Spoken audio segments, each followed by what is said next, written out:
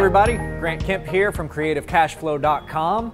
Today we're going to talk about what if your buyer doesn't have the full 10% for a down payment? Because that's going to happen. There's a lot of times where you may be doing a house in an area that just people just don't have that much cash. There's a lot of times that you may just have an asset that you need to move and you've got an offer on the table that, you know, maybe they've only got 5% or whatever that may, might be. Well, I don't want you to throw away the offer because somebody doesn't have 10% as a down payment. There are going to be times where you may need that 10%. For instance, one of my models that I work with is I buy houses, sell them, and then sell the note, right? My note buyer is not going to buy anything that doesn't have a 90% LTV on it. So I need that 10% down payment to get to that point, or else it's going to be me putting that money up. That might make sense. But there's other models that I work where I don't need the 10% down payment. Maybe it's a subject to house and I'm just me holding long term and it's okay for myself to accept maybe a, a $5,000 down payment instead of a $10,000 down payment just to get that asset moving, just to get some capital coming in. So there's a couple different ways that you can go about working this because ultimately you should still be getting that money. You should still be getting that 10% down payment. It's kind of understood that that's sort of the, the norm in the industry is the 10% down. So if you've got a buyer that doesn't have the 10% down, this is where you have to start negotiating some things and have to start really working with them to figure out how quickly can they get you that other amount that they owe you. So, for instance, if they owe a $10,000 down payment and they only have five, you still want that other five. How are you going to get it? There's a couple of ways that you can go about doing that. One would be through the lease option, one would be through, or the lease purchase, one would be through using a second lien with your buyer. And we're going to go over both of those today. So let's first talk about the lease option uh, lease purchase, sort of the same thing here. First, you need to look into your state local laws about how these are handled. Uh, contract for deed is really what kind of encapsulates the lease purchase, lease, lease option world. In Texas, we're pretty restricted on lease options and lease purchases. We're basically at a point where you can only have somebody in their option period for up to six months, 180 days, okay? And what that means is that by day 180, title needs to be transferred to that person. So whereas when we're doing a, a wraparound, they're getting titled from day one. They become the owner of the property. Well, with a lease purchase, they don't become the owner from day one. They have to satisfy something else before title is transferred to them. Well, here in Texas, that title transfer needs to occur within 180 days, which makes a lot of lease purchasing and contract for deed practically, and, and what I mean by that is from a practical standpoint, illegal, right? Doing things that way. Because in order to do it above the six month period, above the, the 180, you've got to have underlying lender's consent, and you can only go up to three years before it's considered that contract for deed, and that's where things start to kind of get cut off for you. Now, other states are still able to do contract for deed. So if you're in a state where you can do contract for deed, A, that's how you should be doing it in the first place. You shouldn't be wrapping the notes. You should just go ahead and do contract for deed because your evictions are, are way cheaper than foreclosures. You've got a lot more control in that situation. But if you're in a state like Texas where the lease options and the contract for deeds have been widely restricted, you need to play by the uh, proper rules. As I always say, you need to talk to your attorneys, figure out how to do things the right way. Uh, but in Texas, again, 180 days is what you got to make it work essentially. So how do you use that? How do you use that knowledge? Well, what you're going to do is let's say that they gave you uh, $4,000 and you wanted a $10,000 down payment. Well, that means they need to give you 6,000 more dollars, right? Well, give them a lease purchase and say, over this next six months, every month you need to pay $1,000 towards your rest of your down payment. And if by the end of that six months you have not done so, you don't get to live in the house. That's not, the, the, you know, the agreement is this has to be satisfied. That's part of your lease, is this, right? So you're really putting the fire on them. I use the lease option route if it's only a little bit. If it's only a little bit of money, right? Like if they still need to get me 2,000 bucks or 3,000 bucks. Well, that's something, if I look at their income and I see, okay, these guys are making plenty of money to come up with an extra $3,000 over this next six months, that's what I'm going to go with. Because, like I mentioned before, one of the big positives of doing this is that you only have to evict them if they don't satisfy what they've said that they're going to do.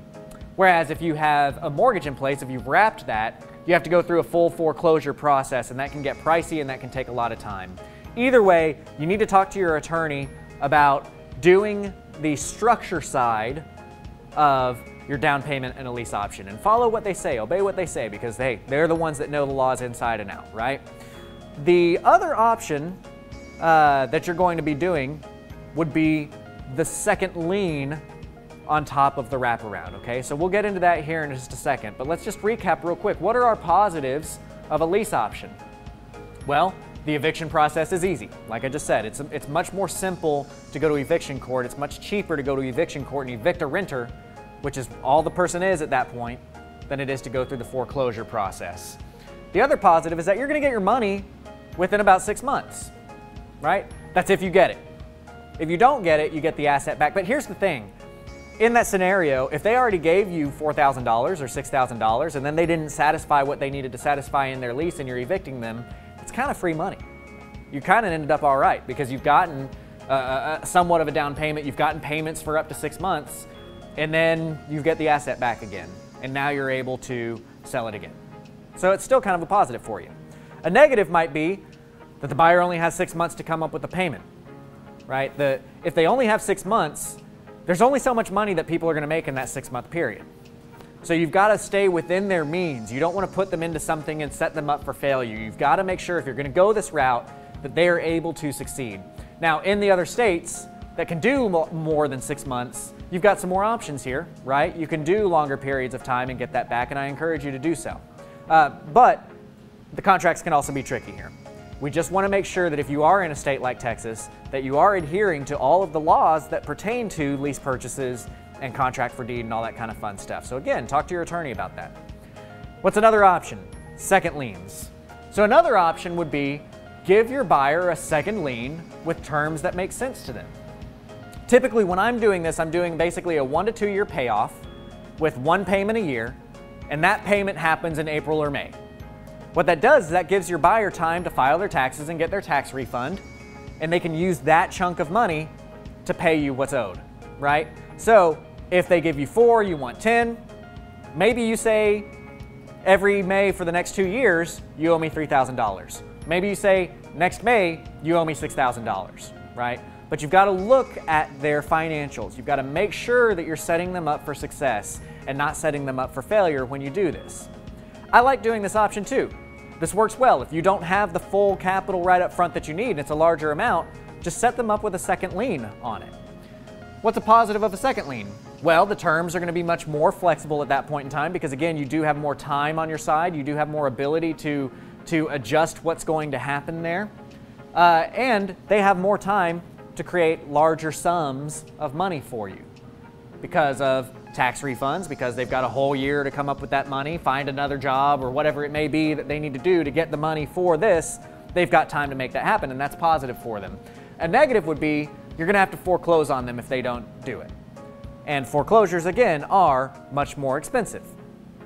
That being said, foreclosing on a second lien is not the end of the world when you hold both the first and the second lien. If you remember from our basics video, if you're in a second lien position and you foreclose, well, yes, you get ownership and you get possession of that property again, assuming that a, somebody doesn't buy it at the courthouse steps, but you get property or you get that property again, but it's your job to satisfy the first lien. Well, if you're in first lien position, that's okay. It's your job to satisfy you at that point in time. And so you essentially have two liens of equal importance at that point. Because you do get possession and ownership as a second lien foreclosing, but you're the first lien. So that's something that keeps me from being afraid of doing this, right? Another option that you have that I haven't gone into today because it's essentially the same, but I, I you know, I'd like for you to to talk to your attorney, and you can watch the advanced videos to learn a little bit more about this. But you can also put a principal reduction payment into your first lien note. You can actually throw something into that first lien that says, hey, May of next year, they need to make a principal reduction payment of $6,000. And so now that's in your deed of trust on the first lien position. If you'd like to keep everything just in that one singular lien, that's a good way of going about doing it. This also prevents you from having to pay for doc prep on a second lien and file fees on a second lien. So there is another option of going out there and doing that. But in summary, I just want to point out that you should be expecting to get that 10%. You should be shooting to get for that 10% because that's the norm. And we want the capital up front. We do want today money and tomorrow money. That's the beauty of doing owner financing is that our down payment is our today money, right? And our payments, our cash flow is our tomorrow money. It's a mixture of both. One advantage to doing a second lien is that you can charge interest on whatever they still owe you. So you do get to earn a little bit more, right? So if you compare and saying, okay, well, this person only has $4,000 of a down payment, well, that puts $6,000 into, into the tomorrow money category. And tomorrow money's good. We like tomorrow money. But we want to have a good balance. So whatever works for you is going to be what works for you, but you should be well informed. That's why you're here. That's why you're learning all of this stuff, and you should know your options. Uh, if you have any questions, you know, reach out to us. Mail it at creativecashflow.com. Uh, you can reach out to one of us and we, we can help you there. I do personal mentoring as well, creativecashflow.com. You can look at our programs there. I can be your one-on-one -on -one mentor to walk you through these kind of things. If you're, if you're trying to get into the business and you want to know more about how these details work and get a lot of this, this more technical and complicated stuff done, I'm there for that. I can help hold hands on that side of things. Uh, Propelio.com has some great educational series out there. So you should uh, definitely go out, check out what they've got, check out the forums. You can ask some questions there, get some answers on that side of things as well. Just keep in touch with us. Make sure that you're, you're keeping in contact and that we're able to move forward together. All right? So keep watching the videos, and until next time, I'll talk to you later.